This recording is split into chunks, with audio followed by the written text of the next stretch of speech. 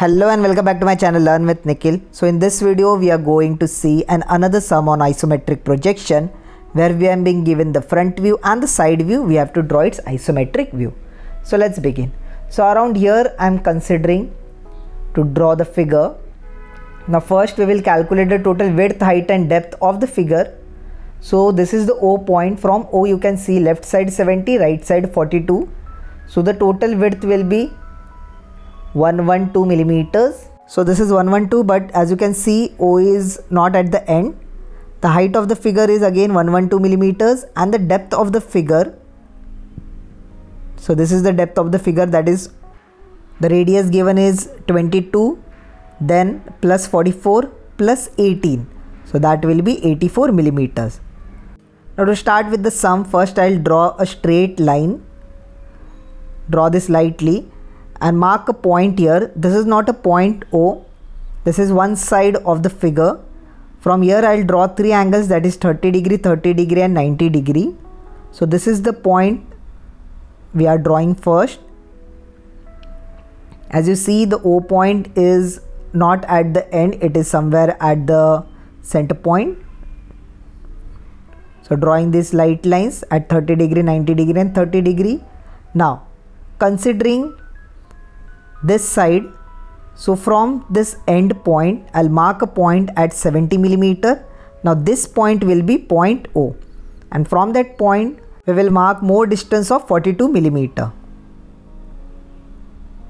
So the total will be 112 millimeters.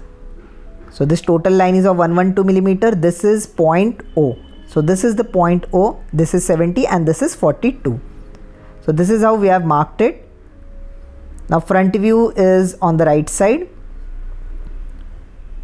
Now the height is again 112 millimeters and the depth we have calculated that is 84. So this side is the side view as you can see from the arrow from left the side view is on the right so that is the right hand side view. So this side is front view right side is front view and the left side is the side view we have to draw. Now we have drawn this rectangular box now our figure is totally inside this. Now starting with the sum. First you can see the point O.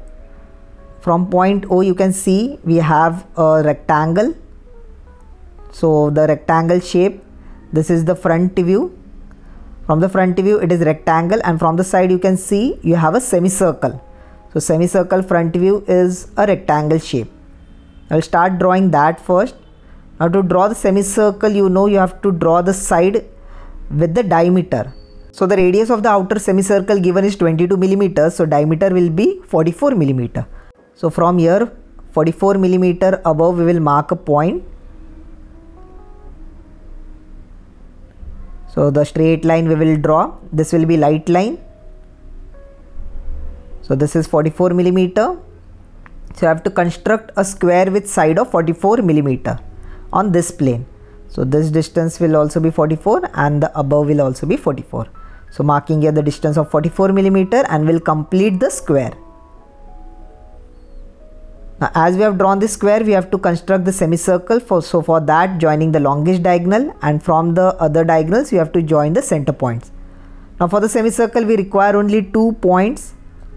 So this curve we have to draw which will intersect till this point so here will be a curve and here will be an another curve. So here also I am marking the center point.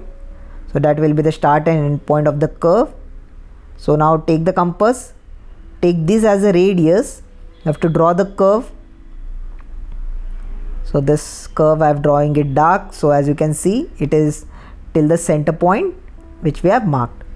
Then keep the pointer here, take this as the radius and you have to draw the curve till the center point of this other line.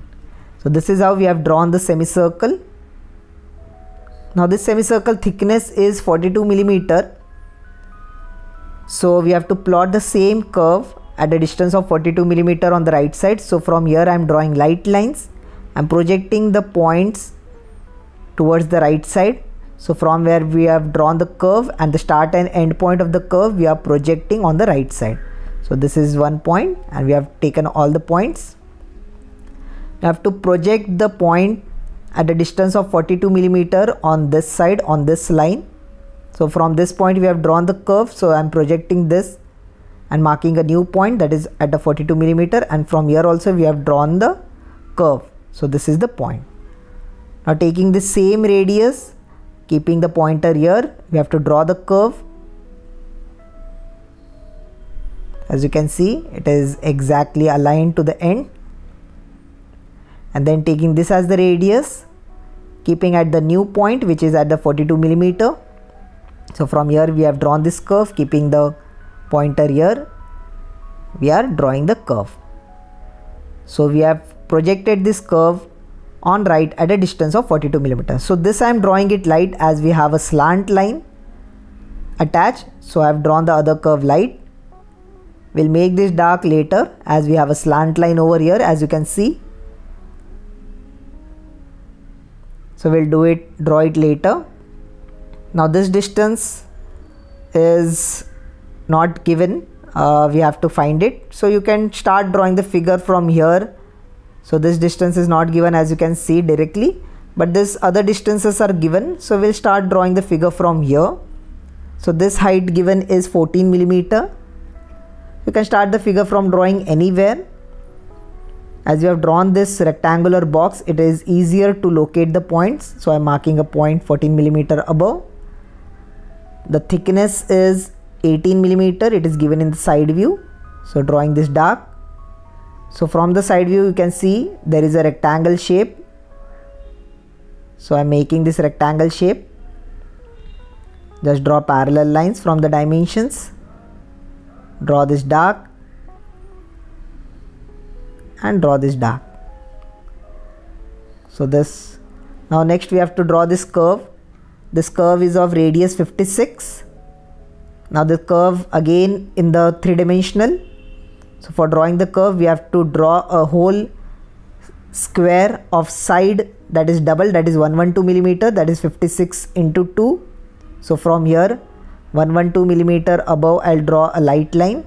So you have to draw a square of side as the diameter of the curve radius is 56 so diameter is 112 millimeter. So I'm drawing a square so from here a line. So the circle or the curve is from the point so from the center 56 on both the sides. So here 56 and here 56 so this is how we have to construct the square.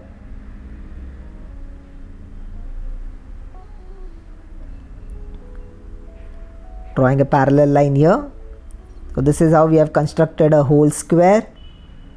Now again you can draw the center line but there is no need of drawing the center line as there is only one curve we have to draw. So this curve as you can see it starts from here and it will end at the center point of the other line so drawing the center point here that is from the top side of the curve 56 I'm marking a point over here. Now take the compass keep the pointer over here. Take this as the radius and then draw the curve. So there is no need of drawing the joining the diagonal line. So this is only the curve we require. So it is just drawn from one point and we have drawn it. Now this curve we have a thickness of 18 millimeter. So I'll just project this point on this side at a distance of 18 millimeter. So you have to draw another curve also. You have to project the same curve. So from here we have drawn this curve. Now keeping the new point, we will draw the curve over here draw this curve dark and we are done with this part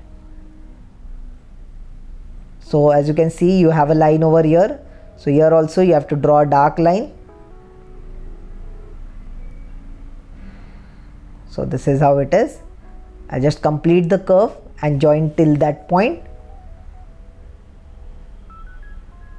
So we have drawn this curve. From the side view it is straight, from the front view it is a curved line. Now here you can see it is inwards at a distance of 26 millimeter. So taking this as the reference line, we'll draw a light line over here. This distance will be 26 millimeters.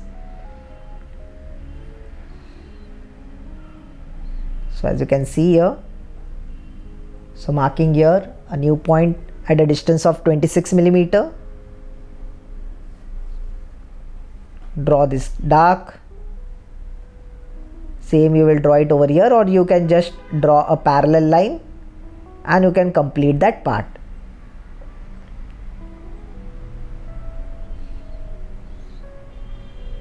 so this part is done. Now then from here you have to increase at the height of 42 millimeter. So from here upwards at a height of 42 millimeter from here also at a height of 42 millimeter. This will touch the height of the box. The total distance if you have taken it properly it will touch at the height of the box. So this is draw this dark line so this touches till the top. That is 42 millimeter.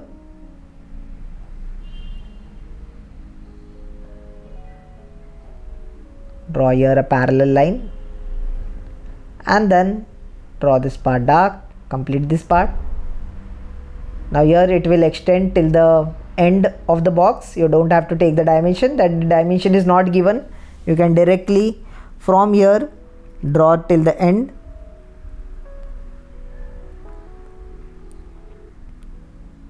then draw a parallel line from this point also till the end. Join this part. Then you have to draw the slant line. So as you can see the slant line you have to draw this. But before drawing that the slant line it is starting from below. It is not starting from the top. It is starting from the below. The height is 14 millimeter so the slant line starting at a below of 14 millimeter so from here 14 millimeter below I'll mark a point and draw a dark line. So this is this distance, height of 14 millimeter. The thickness of the slant line is 10 millimeters. So from here, I'll just draw a light line. The thickness of the slant line is 10 millimeter. Draw this dark. Now see how I am aligning to the tangent of this curve. I'm aligning my scale keeping joining this and then aligning it to the tangent of this curve. So I've aligned to the tangent of this curve. One point it is aligned and then I've drawn a parallel line on both these sides. So this slant line is attached to this semicircle. I've drawn the other line dark and one line light as there will be a curve. So see how the I'm drawing the curve. Now from here I've drawn this curve. I'll now make this part dark as we have joined to the slant line. So I'm making this dark. Now here also there will be a curve as it is attached the slant line is attached to the semicircle or the curve part. So this I have to move behind a distance of 10 millimeters which is a thickness of the slant line. So from here I'm drawing a curve as it is attached to this slant line. There will be a curve shape available. Now completing the remaining part will give you the three-dimensional shape. So from here drawing a straight line below. From here taking the line backward. So taking this as the reference line from here joining the line to this point. I've drawn it lightly. Now you can make it dark later on. From here also taking the line behind. So from here the line is behind. So just you have to take till the intersections. So from here this is how the lines will be. I'll just make the lines dark to make you aware how it is done so dark line here dark line here. From here also draw the dark line till the intersection. So joining the lines and intersecting them. So this is how it is. Now from here you have to take the line downward. From here take the line backward. First draw it light. Taking this as the reference line. From here draw it dark attach it downward. From here also draw it dark. Now drawing a line which will be attached as you have taken the proper dimension. Here you can see it exactly coincides with this point. So this shows that you have taken proper dimensions and drawn the figure. Lastly we have to draw the circle over here which is totally drilled. Now the circle diameter given is 22 millimeter. So first we have marked the center point. From the center point will take 11 millimeters above 11 millimeters below. So from the center point 11 millimeters above 11 millimeters below I'll mark a point.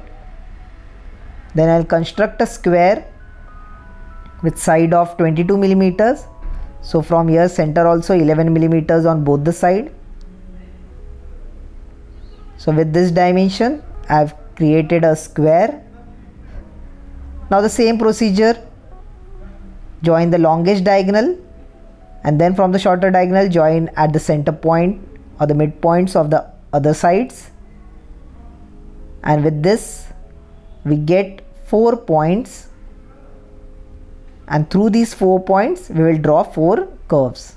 So these are the four points. I will draw four curves.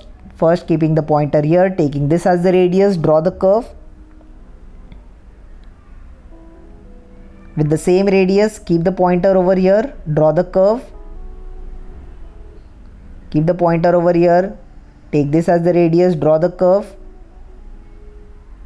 Keep the pointer take this as the radius draw the curve. So with this we have created this circle. It is totally drilled inside. Now lastly we will mark the front view. So this side is the front view. So take this as the reference line draw an arrow over here. Arrow X which denotes it is the front view. And finally mark all the dimensions which are given in the question. Mark the dimensions properly. See how I am drawing it